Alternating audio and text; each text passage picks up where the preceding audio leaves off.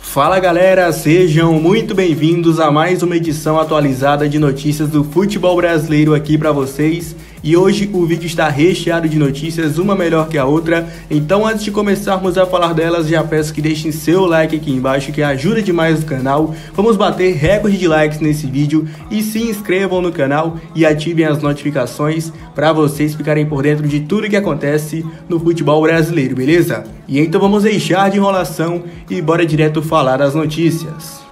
Para começar, vamos falar do Campeonato Carioca que já tem nova data para retornar. A Federação de Futebol do Rio divulgou nesta terça-feira em seu site a tabela dos jogos restantes da quarta rodada da Taça Rio. O Fluminense vai enfrentar o Volta Redonda às 19 horas no Maracanã.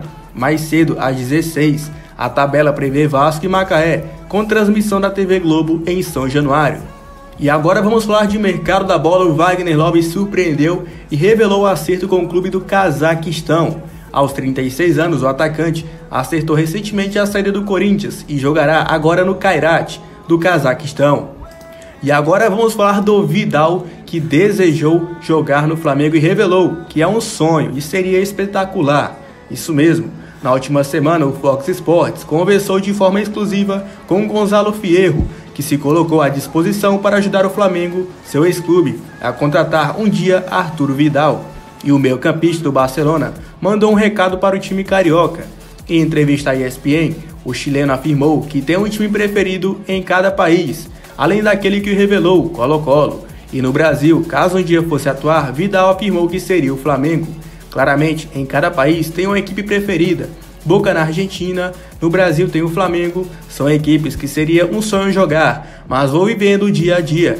E se em algum momento acontecer, seria espetacular, disse o meia-campista. E então, para você que é torcedor do Flamengo, comenta aqui embaixo se vocês acham uma boa investir em um futuro aí na contratação do Arturo Vidal, chileno aí, que joga no Barcelona. E agora vamos falar do Palmeiras que não quer mais o atacante Davidson de volta. E já tem três clubes brasileiros analisando a contratação. A volta de Davidson ao Palmeiras está descartada. O centroavante não será comprado pelo Getafe e deve retornar ao Brasil em breve. Felipe Dias, empresário do jogador, busca algumas alternativas na Europa, mas tem encontrado sérias dificuldades, principalmente por conta do histórico de expulsões e problemas. Grêmio, Internacional e Atlético Mineiro buscaram informações sobre Davidson com a diretoria. Anderson Barros pediu um tempo para pensar e ver se de fato ele retornará.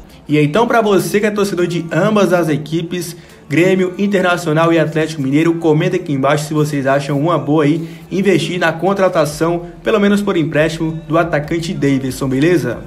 E para finalizar, ainda falando do Palmeiras, um caso que foi parar na polícia envolvendo o atacante Dudu. A ex-esposa acusou Dudu de agressão e o jogador se apresentou à polícia e negou.